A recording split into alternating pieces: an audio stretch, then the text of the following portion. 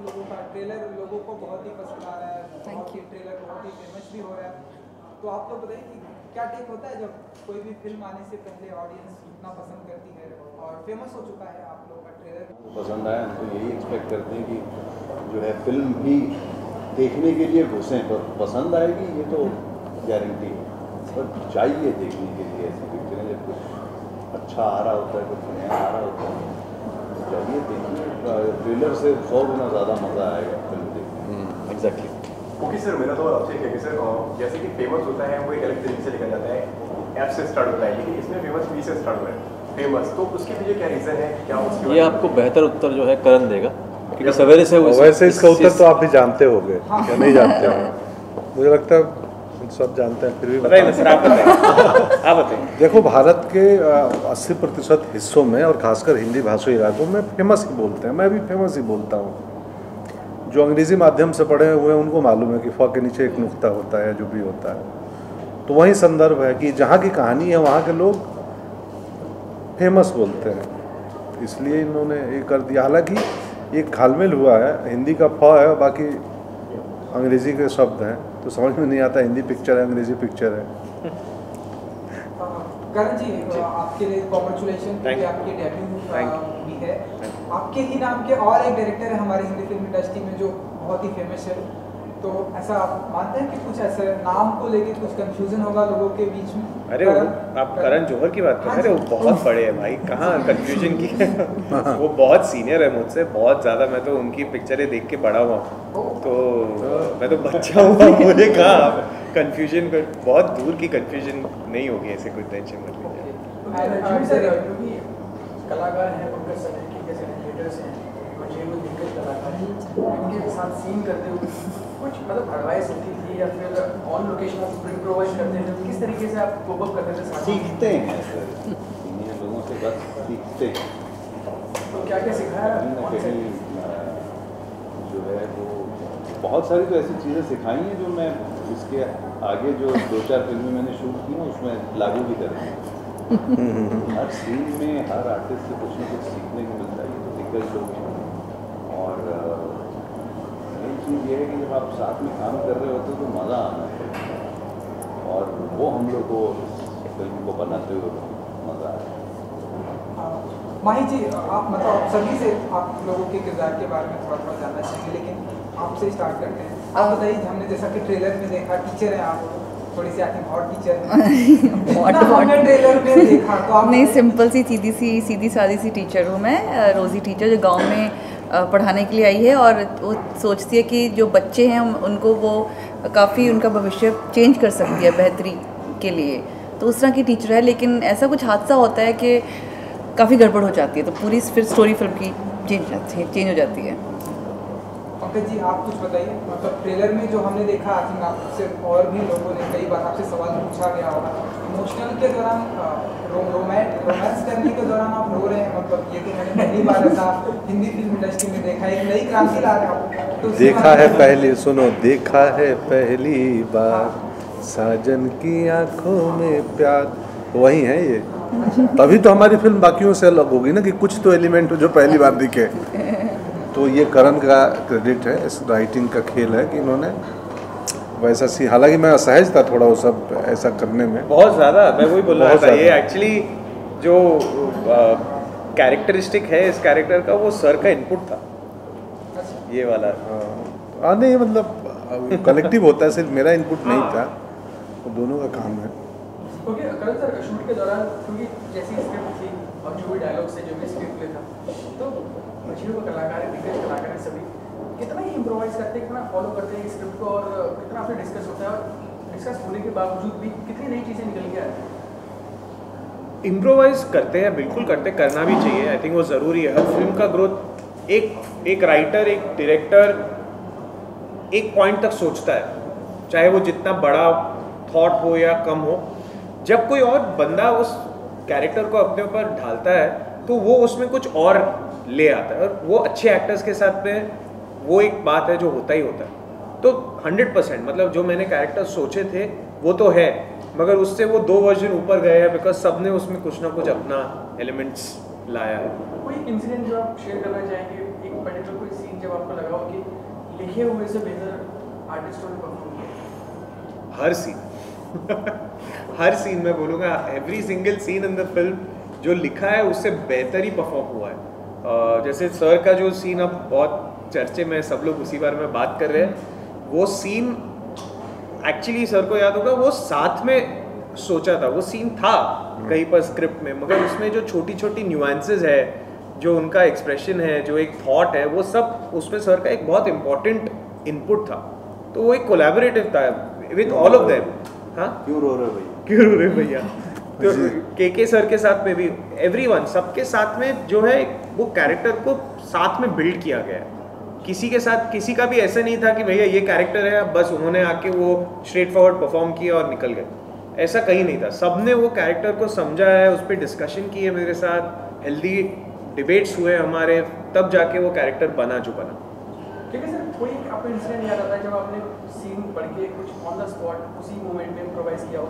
फिर आपको एहसास हुआ कि यार जो ओरिजिनल था, वही बढ़िया था ऐसे होगा इसे नहीं करना चाहिए। ऐसा तो हर फ़िल्म में होता है।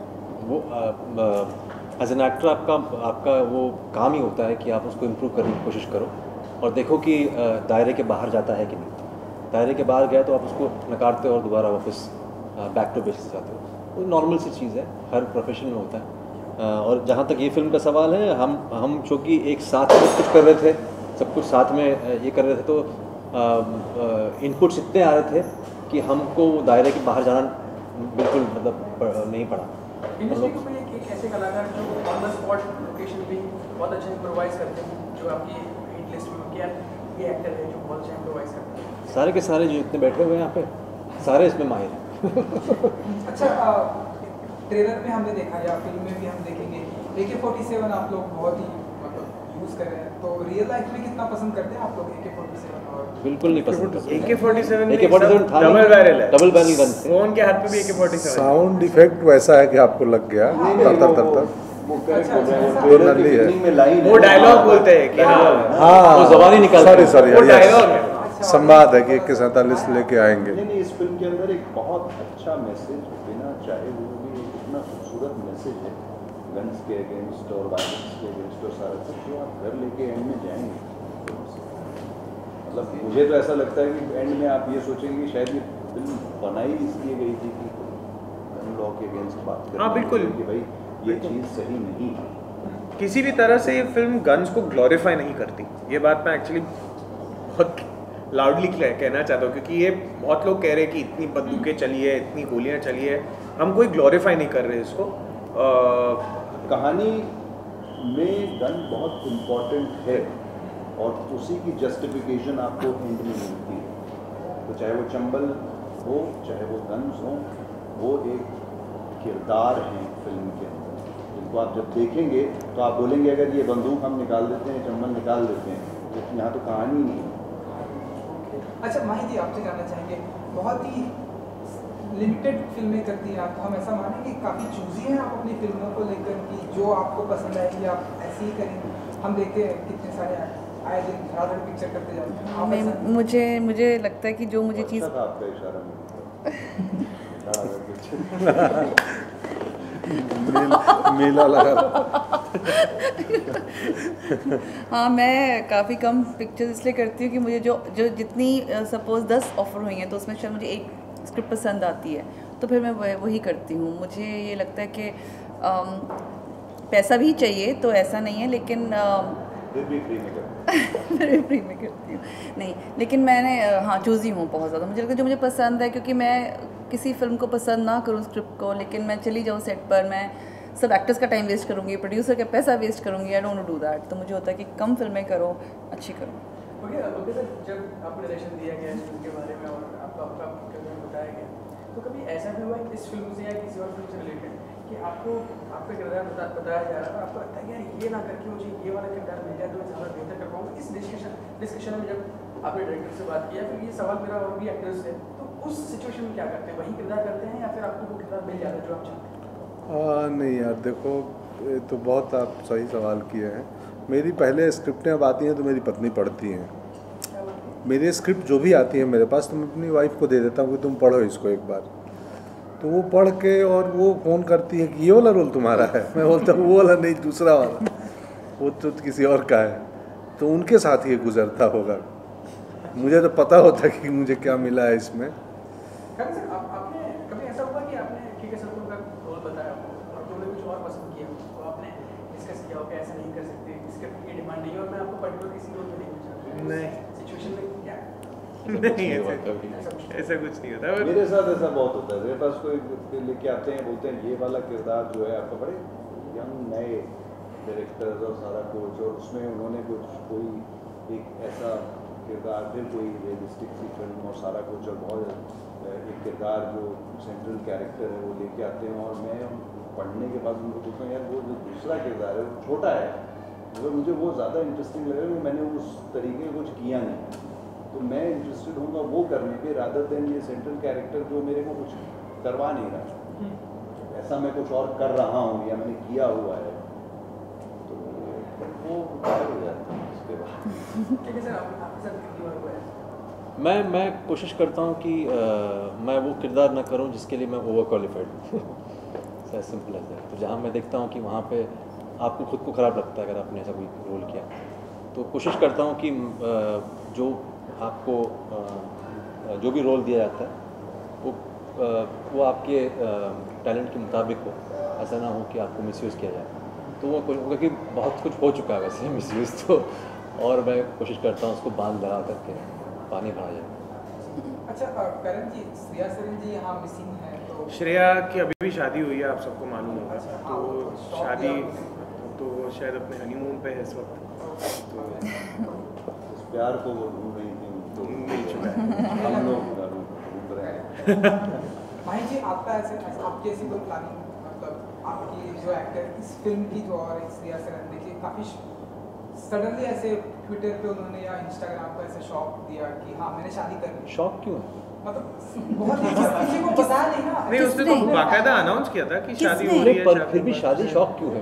घर वालों को पता होगा। अनाउंस ऐसा हुआ तो। क्या हुआ है भाई? यार उनके घर परिवार वालों को पता ही हाँ, होगा। कैटरर को मालूम होगा जो उस दिन खाना बना रहा होगा शौक कैसे हो सकता है? बहुत लोग जानते होंगे। पंडित ने शादी करा सूचना ही। अखबारों में नहीं। तो हाँ व्यवस्थाएँ शौक देने का?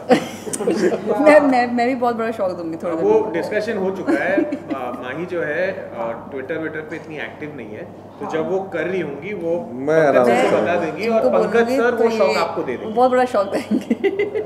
मैं कितने वोल्टेज का चाहिए बता दीजिए मतलब ये इसी साल आप देने वाले? अब डिपेंड इन पे है ना मैं तो ट्विटर इनको तो सिर्फ़ ट्विटर पे डालना है ना बताना उनको है।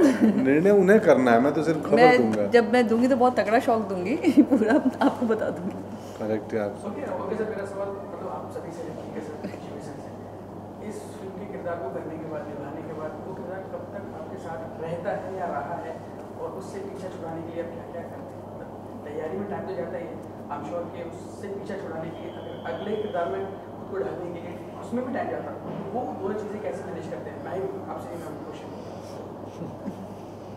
मैं मैं तो बिल्कुल, मैं एक बार खिलाड़ी उस मैदान के बाहर चला जाता है, उसके बाद बल्ला नहीं घुमाता है तो वो वहीं पे सौ रन मार कर कि बाहर फिर वो सौ रन मारने की ज़रूरत नहीं होती तो I belong to that category I don't carry anything of the character back वरना फिर तो मतलब बंदूक के चलती रहेंगी यहाँ पे चला दूँगा इस फ़िल्म में थोड़ा सा अजीब हुआ है जो कि हम जब वहाँ गए हैं तो उस माहौल में उस कहानी में ढल गए और लकड़ी कुछ तेईस चौबीस दिसंबर के आसपास जो है वो हमारा रैपअप हुआ हाँ। और उसके बाद फॉग वॉक शुरू हुई उसी रात को। और हम वहाँ से जो ड्राइव करके निकले हैं दिल्ली क्योंकि जहाँ हम लोग शूट कर रहे थे वहाँ से आठ दस घंटे की ड्राइव थी अगले दिन हम लोग निकले हैं वहाँ से और मैं एक बार दिल्ली पहुँच गया और फिर वो क्रिसमस न्यू ईयर्स का माहौल था तो निकल गए।